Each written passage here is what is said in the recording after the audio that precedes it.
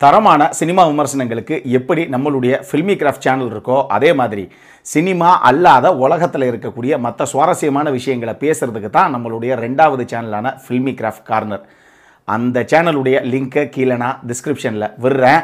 அந்த சேனலை பார்த்து பிடிச்சிருந்தது அப்படின்னா சப்ஸ்கிரைப் பண்ணுங்கள் உங்களுடைய ஃபேமிலி அண்ட் ஃப்ரெண்ட்ஸ் எல்லாத்துக்கும் ஷேர் பண்ணுங்கள்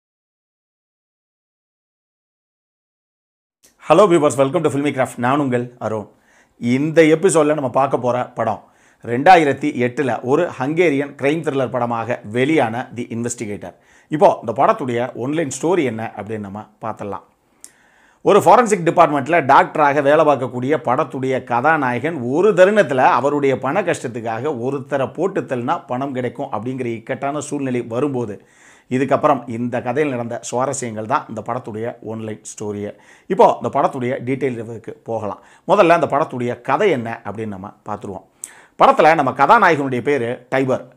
இவர் பேசிக்காக ஃபாரன்சிக் டிபார்ட்மெண்ட்டில் ஒரு டாக்டராக இருக்கிறாரு. அதுவும் குறிப்பாக இந்த போஸ்ட்மார்ட்டம் பண்ணுறதுக்குன்னு ஸ்பெஷலிஸ்ட் இருப்பாங்க பார்த்தீங்களா அந்த மாதிரி ஒரு டாக்டராக வேலை பார்க்கக்கூடிய ஒரு நபர். நம்மால் ஆள் டாக்டரு அப்படின்னு சொல்லணும்னா இவருக்கு ஒரு வித்தியாசமான ஒரு சில குணாதிசயங்கள் இருக்குது அதாவது மனுஷன் நீங்கள் ஊரே ஜோக் அடித்து முன்னாடி சிரித்தாலும் நம்ம ஆளுக்கு சிரிப்பே வராது. மூஞ்சியை உம்முன்னு மட்டும்தான் வச்சுருப்பாப்புல. எப்பயுமே சிரிப்பே வராத ஒரு டாக்டர் இப்படி ஒரு டாக்டர் கதாபாத்திரத்தை ரொம்ப ரீசெண்டாக எங்கேயோ பார்த்துருக்கோம்ல? ஆமாம் அதே டாக்டர் தான் இவர்.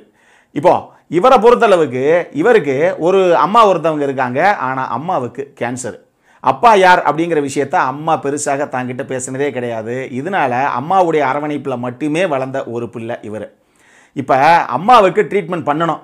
என்னதான் இவர் ஒரு டாக்டராக இருந்தால் கூட இவருக்கு வர்ற மாத சம்பளத்தை வச்சு அந்த கேன்சர் ட்ரீட்மெண்ட்டுக்கான அந்த பெரிய பேமெண்ட்டு பில்லெல்லாம் இவரால் பே பண்ண முடியலை. இதன் காரணமாக ஒரு என்ன சொல்கிறது ஒரு நல்ல ட்ரீட்மெண்ட்டுக்கு ஒரு நல்ல ஹாஸ்பிட்டல் அட்மிட் பண்ணலாம் அப்படின்னா அந்த நிலைமையிலையும் இவர் இல்லை. இவர் தான் பேருக்கு டாக்டரை தவிர மற்ற எந்த விஷயமும் இவரால் பண்ண முடியலை. இப்படி இருக்கும்போது இவருக்கு ஒரு பெரிய கில்ட்டினஸ் மனசில். நம்ம டாக்டராக இருந்து தாயை காப்பாற்ற முடியல அது கூட வசதி கிடையாது அப்படிங்கிற மாதிரி ஒரு நிலமையில போகுது கதை. இப்படி இருக்கும்போது இவர் ஒரு லவ்வரும் இருக்காங்க. இவருக்கு லவ்வர்னா அது அந்த அம்மா தான் லவ் பண்ணுதே தவிர இவர் வழக்கம் போல் ஜடம் மாதிரி தான் சுற்றிக்கிட்டு இருக்காப்புல. அந்த அம்மா ஒரு ஹோட்டலில் வேலை பார்க்குறாங்க. ஒரு ஹோட்டல் ரெஸ்டாரண்ட் எப்படி வேணால் வச்சுக்கோங்களேன். அந்த ரெஸ்டாரண்ட்டில் ஒரு நாள் ஒரு போய் உட்காந்துருக்காப்புல ஒரு டேபிளில் அந்த தருணத்தில் திடீர்னு ஒரு நபர் முன்னாடி வந்து உட்காரான் உட்காந்துட்டு அப்புறம்? அம்மாவுக்கு ட்ரீட்மெண்ட்லாம் எப்படி போகுது அப்படின்னு கேட்டால் இவருக்கு ஒரே ஷாக்கு யார் நீங்கள் எதுக்கு இதெல்லாம் கேட்குறீங்க அப்படின்னு கேட்டால் இங்கே பார் உன்னுடைய பூர்வீகமே எனக்கு தெரியும் உனக்கு என்ன பிரச்சனை போய்கிட்டு இருக்கு அப்படிங்கிறதுமே எனக்கு தெரியும் உன்னை ஒரு மாதமாக நான் ஃபாலோ பண்ணிக்கிட்டு தான் இருக்கேன் உனக்கே தெரியாமல் நான் உன்னுடைய பிரச்சனைகளுக்கெல்லாம் ஒரு நல்ல தீர்வு ஒன்று சொல்லட்டா? இங்கே பார் நாற்பதாயிரம் ஈரோஸ் பெரிய பணம். இப்போதைக்கு நீ சம்பாதிச்சலாம் அவ்வளோ பெரிய பணத்தை உன்னால் ஈட்ட முடியாது. ஆனால் இந்த பணத்தை வச்சு உங்கள் அம்மாவுக்கு ட்ரீட்மெண்ட்டையும் முடிச்சுட்டு நீ வேணும்னா ஜாலியாக ஒரு ஹாலிடே பிக்னிக் மாதிரி கூட உங்கள் அம்மாவை கூட்டுட்டு நீ போயிட்டு வரலாம். அவ்வளவு பணம் நான் உனக்கு தர்றேன். ஆனால் அதுக்கு பதிலாக நீ எனக்கு ஒரு ஹெல்ப் பண்ணணும். அது என்ன அப்படின்னா ஒரு நபரை கொலை பண்ணணும். அதை நீ பண்ணிட்ட அப்படின்னா இந்த பணம் உனக்கு தான் அப்படிங்கிறாரு அவர். இப்போ நம்ம கதாநாயகனுக்கு இதை ஏற்றுக்கலாமா வேணாமா அப்படிங்கிறதும் புரியலை. ஆனால் அம்மாவை காப்பாற்றி ஆகணும் அப்படிங்கிற ஒரு விஷயத்தை மைண்டில் வச்சுக்கிட்டு சரி ஓகே நான் கொலை பண்ணுறேன்னு வச்சுக்கோயேன். நீ எனக்கு பணம் கொடுப்பேன்னு என்ன நிச்சயம்? அப்படின்னு கேட்டால் என்னப்பா பட்டுன்னு ஒத்துக்கிட்ட? சரி பரவாயில்ல உனக்கு பணம் தானே பிரச்சனை. இந்தா புடி இருபதாயிரம் ஹீரோஸ் அப்படின்னு சொல்லி பாதி பணத்தை அட்வான்ஸாகவே கொடுத்துட்டு போகிறாப்புல அந்த ஆள். வச்சுக்கோ. ஆனால் அடுத்து நீ எப்போ நான் சொன்ன விஷயத்தை முடிக்கிறியோ அப்போ மீதி பணத்தை வாங்கிக்கோ ஆனால் நீ யாரை போட்டு தள்ளணும் அப்படிங்கிறத இந்த மீட்டிங்கில் வேணால் அடுத்த மீட்டிங்கில் நான் சொல்கிறேன் அப்படின்னு சொல்லிட்டு அந்த ஆள் போயிடுறான். இப்போ கதாநாயகனுக்கு ட்ரீட்மெண்ட்டுக்கு தேவையான பணம் கை நிறைய இருக்குது இப்படி ஒரு தருணத்தில் அடுத்தடுத்து இவருடைய வாழ்க்கையில் அரங்கேறின சம்பவங்கள் தான் இந்த படத்துடைய மொத்த கதையை. இந்த படத்தை பொறுத்தளவுக்கு எனக்கு ரொம்ப ரொம்ப பிடிச்ச விஷயம் என்ன அப்படின்னா இதனுடைய கதையும் திரைக்கதையும் தான். ஒரு சாதாரண கதை. ஆனால் அந்த கதையை எந்த அளவுக்கு திரைக்கதை மூலமாக சுவாரஸ்யத்தை படுத்தணுமோ அந்த அளவுக்கு நீட்டாக பண்ணியிருக்காங்க. அட்டிலா கிகார் அவர் தான் இந்த படத்தை வந்து எழுதுனது இயக்குனது. சூப்பரான ஒரு ஒர்க்கு செம்மையாக பண்ணியிருக்கார் இந்த படத்தை. இந்த படம் உங்களுக்கு வந்து ஆக்சுவலி ஒரு ஸ்லோ க்ரைம் ட்ராமாவாகத்தான் போகும். ஆனாலுமே அடுத்தடுத்து நம்ம எதிர்பார்க்காம நம்ம என்ன எதிர்பார்க்கமோ அதை தாண்டி வேறு வேறு மாதிரி அங்கங்கே பல திருப்பங்கள் இந்த கதையில் அங்கங்கே வந்துக்கிட்டே இருக்கும். இது கடைசி வரைக்கும் உங்களை வந்து பண்ணுவாங்க. இதில் என்ன மேட்டர்னா ஊடால ஒரு சில இடங்கள்லாம் ஆக்சுவலி ரொம்ப ஸ்லோவாகவே போகும். ஒரு சில இடங்களில் என்ன சொல்ல வர்றாங்க? இது இதுக்கு அங்கே போனார்? இவர் எதுக்கு அவரை பார்த்தார்? அப்படிங்கிற மாதிரிலாம் தோணும். ஆனால் அது எல்லா விஷயங்களும் போக போக படம் டுவர்ட்ஸ் த கிளைமேக்ஸ் போகும்போது கிளியராக எல்லாத்தையும் உங்களுக்கு சொல்லிடுவாங்க.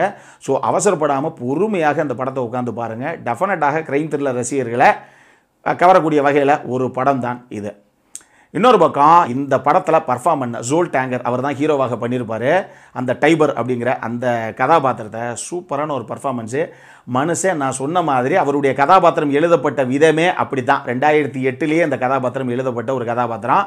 பார்த்துக்கோங்க படத்தில் எங்கேயுமே சிரிக்க மாட்டாப்புல ஸ்டார்டிங்லேருந்து எண்டிங் வரைக்கும் ஒரு இடத்துல கூட ஸ்மைல் அப்படிங்கிறதே அவர் ஃபேஸில் இருக்காது. ஆக்சுவலி அவருக்கு ஒரு மெடிக்கல் காம்ப்ளிகேஷன் இருக்கும். அதனால தான் சிரிக்க மாட்டார். அது அந்த மாதிரி ஒரு கதாபாத்திரம். ஆனால் இந்த கதாபாத்திரத்தை இந்த படத்தில் முழு படமும் நீங்கள் பார்த்தாலும் சரி எங்கேயாவது அங்கங்கே விட்டு விட்டா பார்த்தாலும் சரி இந்த கதாபாத்திரத்தை பார்க்கும்போது டெஃபினட்டாக நம்ம டாக்டர் படத்தில் சிவகார்த்திகேயனுடைய அந்த கதாபாத்திரம் நமக்கு மைண்டில் வந்துட்டு தான் போகுது. அதை தூக்கி வச்சுட்டு தனியாக அந்த படத்தை பார்க்கவே முடியல. அந்த அளவுக்கு இந்த கதாபாத்திரம் அதோட ஒத்த கதாபாத்திரமாகவே இருக்குது அப்படின்னு தான் சொல்லணும். ஆனால் ஜோல் டேங்கர் அட்டகாசமான ஒரு பெர்ஃபார்மன்ஸை கொடுத்துருக்காரு அந்த கதாபாத்திரத்தில். இது போக இந்த படத்துடைய எடிட்டிங் நீங்கள் கண்டிப்பாக சொல்லணும். ஆக்சுவலி பெரிய அளவில் நான் லீனியர் எடிட்ஸ் அப்படின்னு நம்ம சொல்ல முடியாது. பட் இருந்தாலும் அவங்க பண்ணின விதம் இந்த கதைக்கு என்ன தேவையோ நம்ம இந்த கதையில் இந்த விஷயத்தை இந்த கதாபாத்திரம் இந்த இடத்துல வரும்னு எது எதிர்பார்க்க மாட்டோமோ அது எல்லாம் சுவாரஸ்யமாக உள்ளே கொடுத்துருப்பாங்க. ஸோ எடிட்டிங்கும் டெஃபினட்டாக இந்த படத்துக்கு பெரிய அளவில் ஹெல்ப் பண்ணுச்சு அப்படின்னு சொல்லணும்.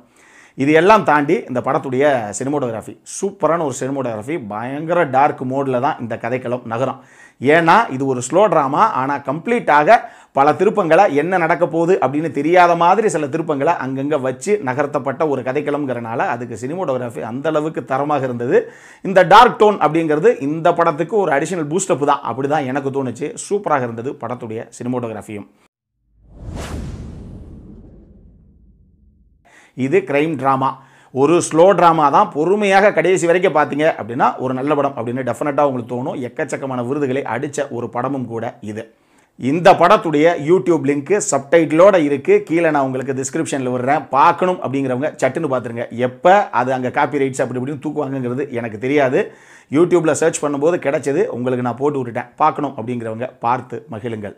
இந்த படத்திற்கு ஃபில்மி கிராஃப்ட் கொடுக்கக்கூடிய rating seven point two five out of ten இந்த வீடியோ பிடிச்சிருந்ததுன்னா லைக் பண்ணுங்க. ரொம்ப பிடிச்சிருந்ததுன்னா உங்க ஃப்ரெண்ட்ஸ் எல்லாத்துக்கும் ஷேர் பண்ணுங்க. உங்களுடைய கருத்துக்கள் ஏதாவது இருந்தது அப்படின்னா கீழே இருக்க கமெண்ட் செக்ஷன்ல எங்களுக்கு தெரிவிங்க. வீடியோவை க்ளோஸ் பண்றதுக்கு முன்னாடி சப்ஸ்கிரைப் பண்ணுங்க. சப்ஸ்கிரைப் பண்ணும்போது பக்கத்தில் இருக்க நோட்டிஃபிகேஷன் பெல் ஐக்கானையும் கிளிக் பண்ணுங்க. அப்பதான் எங்களுடைய வீடியோஸ் எல்லாம் உங்களை ஆன் டைம் வந்து சேரும். இதே மாதிரி இன்னொரு வீடியோவோட அடுத்த முறை உங்களை சந்திக்கிற வரைக்கும் it is Arun signing off bye